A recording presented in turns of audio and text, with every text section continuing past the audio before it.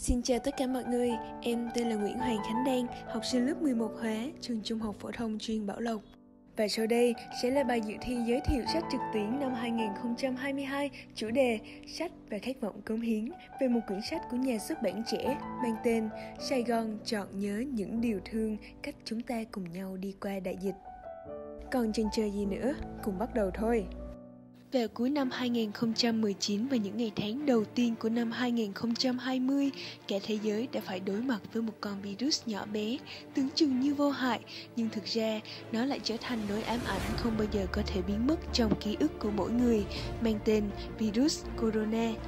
đất nước Việt Nam cũng đã vô cùng mạnh mẽ khi vượt qua biết bao lần dịch bệnh bùng nổ. Thế nhưng, chúng ta vẫn phải trải qua một năm 2021 với 5 tháng kinh hoàng, lần thứ tư chống chọi với đại dịch Covid-19 với chủng biến thể Delta vô cùng nguy hiểm và đã cướp đi sinh mạng của hơn 40.000 người dân Việt Nam một cách đầy tiếc nuối.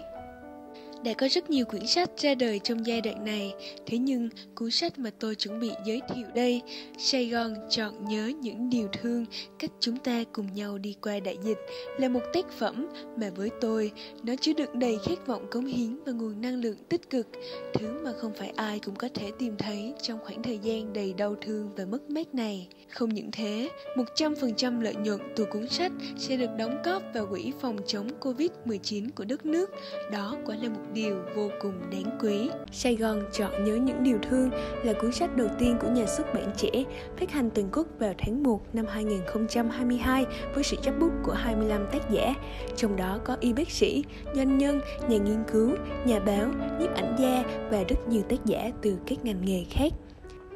Quyển sách có tổng cộng 232 trang, được chia thành 26 phần, là tập hợp những bài viết, những chia sẻ sống động của chính người trong cuộc khi họ có mặt khắp thành phố, từ bệnh viện tuyến đầu đến các khu cách ly, các phố lớn hẻm nhỏ của Sài Gòn trong đại dịch. Đó cũng là lúc một thành phố năng động, nhộn nhịp bỗng trở nên im ắng với đầy ắp nỗi đau buồn.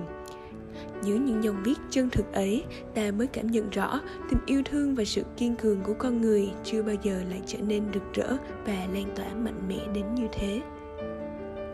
Ở những phần đầu tiên, ta bắt gặp hình ảnh các bác sĩ tuyến đầu, những tình nguyện viên, người mà có thể nói là những vị cứu tinh, những người bận rộn nhất trong mùa dịch.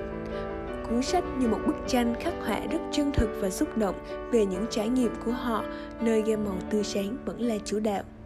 như câu chuyện của bác sĩ Hớn từ một bác sĩ phẫu thuật đã bất đắc dĩ chuyển sang hồi sức cấp cứu. Hay chị Hiên, cô thủ lĩnh của khối điều trị, thường ngày vẫn luôn hừng hực năng lượng cũng đã bật khóc khi mất cả gia đình vì Covid.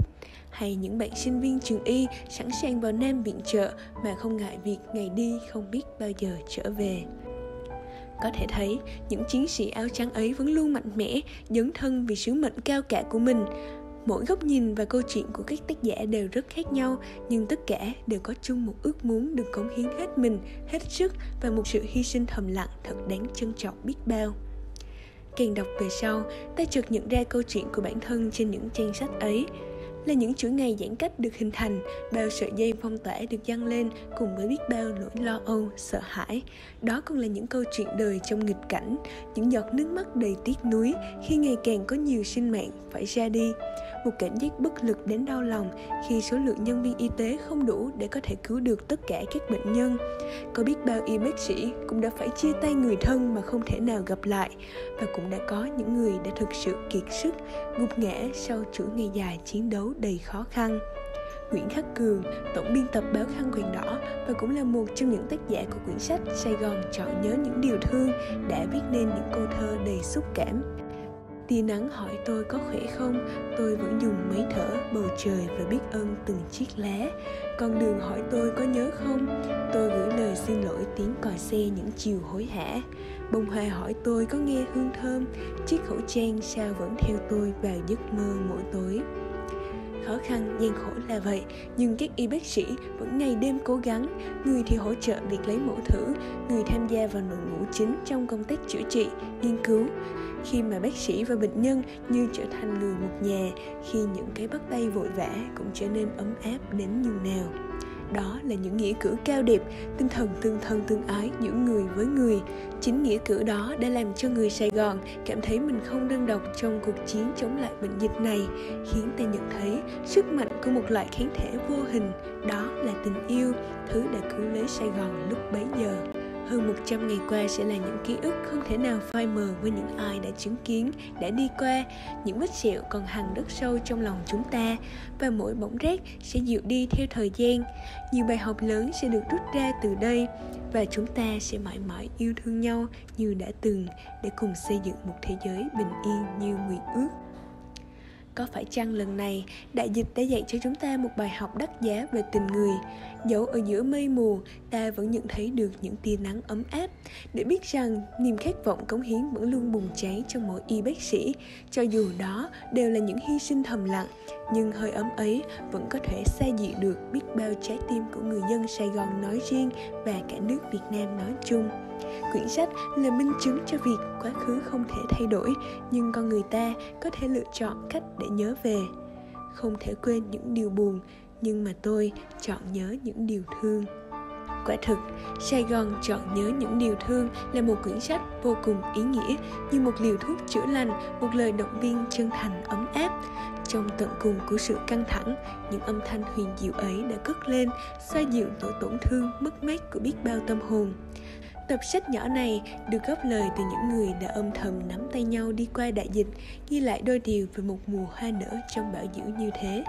Qua đây, tôi xin gửi lời cảm ơn chân thành nhất đến các y bác sĩ, chiến sĩ cùng các tình nguyện viên đã hy sinh đến quên mình, luôn cống hiến bằng tất cả sức lực để đưa thành phố đi qua những tháng ngày đau thương và khốc liệt.